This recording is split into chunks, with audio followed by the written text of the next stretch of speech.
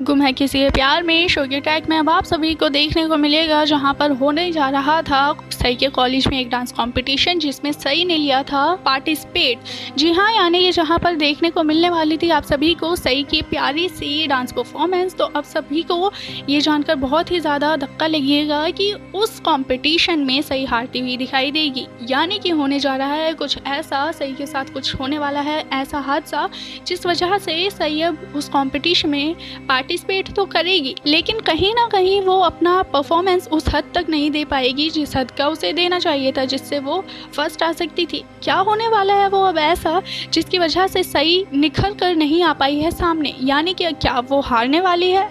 ऐसा हो सकता है कि अब सही हारती हुई दिखाई दे। खबरों से पता चला है कि अब सही हारती हुई दिखाई देने वाली है कंपटीशन में। लेकिन लेकिन लेकिन ट्विस्ट ये है कि आखिर में विराट जिता ही देगा सही को। फ़िलहाल के लिए आज की खबरों में बस इतना ही। जल्दी हाजिर होंगे हम अपनी अगली वीडियो के साथ।